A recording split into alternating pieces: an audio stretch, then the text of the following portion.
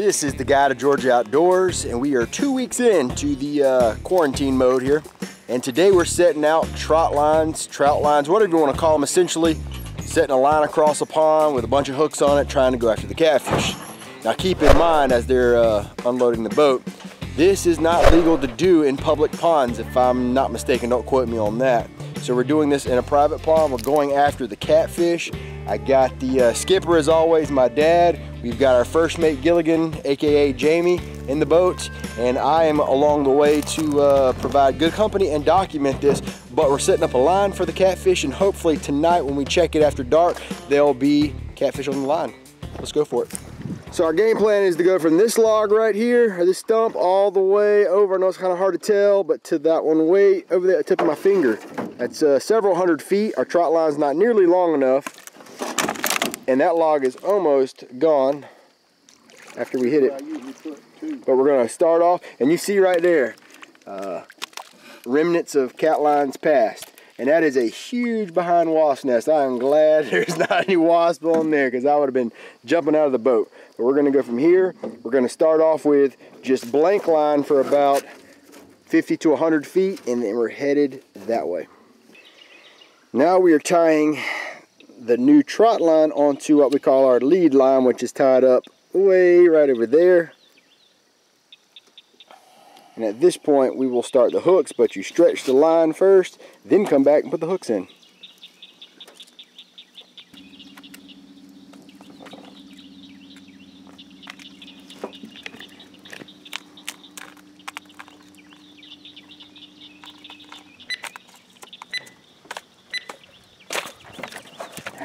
We have a little bit of a mess, but that is part of the joys of running a trot line. When I was a kid, my dad would be up in the front swinging a paddle right now at us. And current water. Yeah, but this is uh, part of the joys. And I got a question. I want to know what you are doing in this time of quarantine when you can't really get out. I'm fortunate enough to have a pond and living on the farm where I don't really see people. So uh, I'm curious to what everybody else is doing at this time. All right, we just got tied off on this end. You can see the line goes all the way across the pond. There was the original log down there. Now we're going to go through and tie the hooks on, 25 hooks on this white line.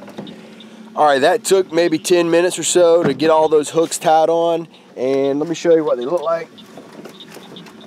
You've got the hook tied on, double string to a clip. Now this, and I'm sure that wasn't in good focus, but this is very important, the old swivel. When a catfish gets on or a turtle, they're gonna naturally just spin in circles and circles. So if you make one of these homemade, you wanna make sure you put a barrel swivel because they will break the line eventually. So uh, we buy these kits already made up and uh, that's the way to go for us. Now we're gonna hook them up, bait them up, sink it in the middle and call it a night. I'm expecting some channel cat, probably a lot of speckled cat, but also from the, from prior experience, I've got some soft shell turtle. And if I do get a turtle, he's going home with us tonight and we will be having some turtle soup, turtle stew. I don't know, we're gonna do something with the turtle. So uh, about an hour after dark or so, we're gonna come back and try it, see what we got. We are back at the pond, getting in the boat right now. Been about an hour and a half, we all went back and ate dinner, got the camera set up with the lights. I don't know, I'm feeling optimistic. I think there'll be at least a catfish, possibly even a turtle. Jamie, do you feel anything? You know, I don't right now. Okay. But uh, we still a few feet away from the, the main line. To the hooks, nothing. Ain't nothing touched that bait.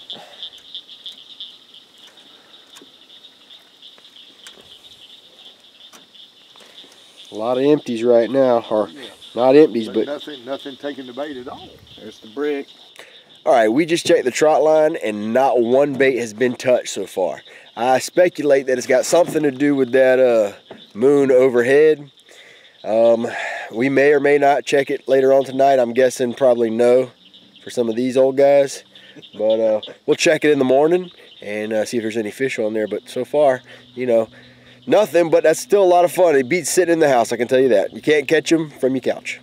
All right, it's the next morning. We are back here to check the cat lines, but I have substituted Jamie and Dad for I'm not sure if it was an equal substitution or if I stepped up or down, but I got Josh now and I've got Bailey, who have been no strangers to the videos. You've seen them before. But let's check the cat lines and see what we got this morning. Um, seeing a lot of blank hooks, which means we have been robbed. Blank. Every hook that we baited was gone. Every bait was gone off the hook, should I say. Not one thing was on there. I'm guessing turtles robbed us clean. Gonna rebait it probably this afternoon and uh, try again tomorrow.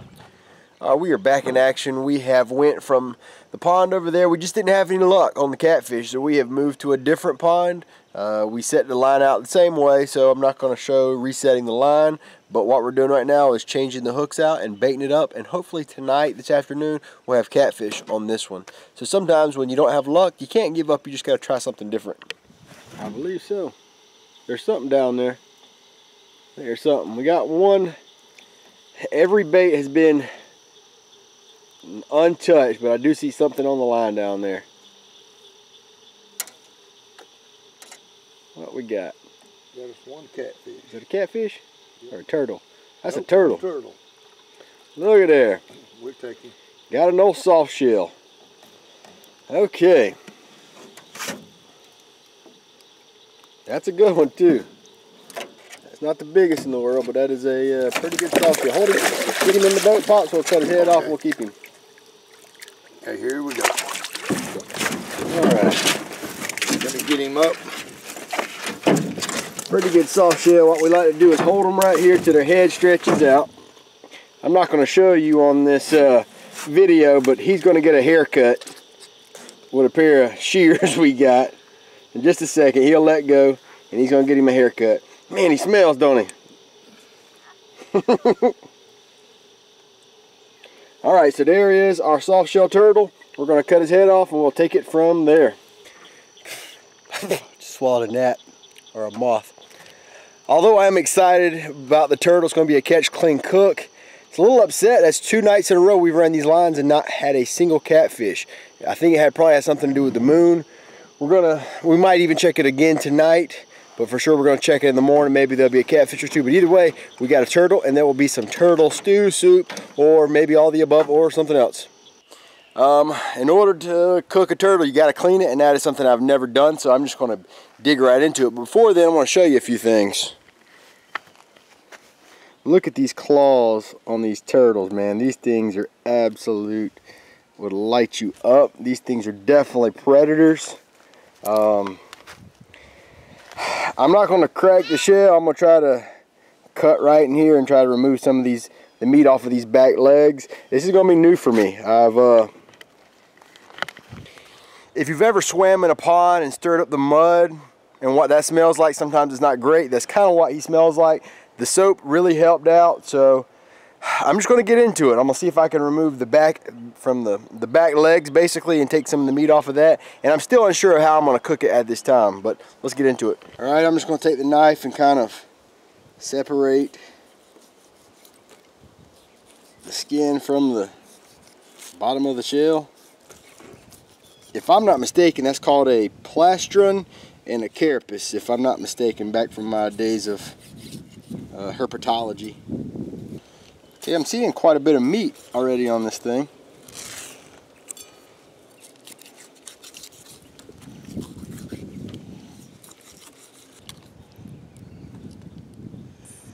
Okay, she was definitely a female. Loaded with eggs. Okay, getting somewhere now. There we go. There's where the bulk, there's where the bulk of the meat is. I'm gonna take a little bit time and clean this off. All right, these are the two back legs. Rather meaty. Um, kind of hard to describe the consistency yet. I'm gonna go in there and clean these up. Maybe even debone it and see what I can do to uh, cook it. All right, I very meticulously just removed some of this meat from the back legs, deboned it. I'm noticing that some of the meat is a very light color, almost like chicken, and some of it's a very dark color. So uh, I was very meticulous and took away any kind of fat, connective tissue. So hopefully this will be all right. I'm going to marinate it. I changed my mind from the super stew just because uh, I don't really want to invest a whole lot of time in something that I'm not sure that I'm going to like. So I'm going to marinate it probably in some Italian dressing, something vinegar based to maybe take some of that uh, muddy fishy taste out of it. Then I'm going to batter it and fry it. The uh, turtle has been marinated in Italian dressing for uh, about an hour or so and these are the prime cuts. I'm gonna be honest, out of all the animals that I've eaten, this one's probably the one I'm the most uh, hesitant about. I've got my uh, my flour with salt, pepper, seasoned salt. I'm gonna put the uh, put the turtle in the flour, and then we're gonna fry it up. I got the oil heating up right now. I think one of the best ways, the safe way, is gonna be frying it.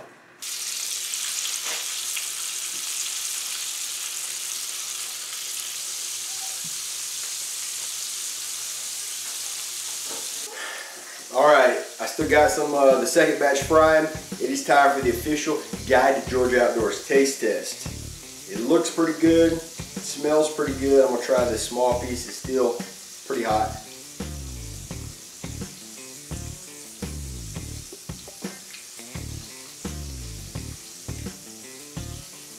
Of all the meats that I've tried, this has probably got to be the most uh, shocking and uh, impressive. I was not expecting this to be good, and that was actually great. Man.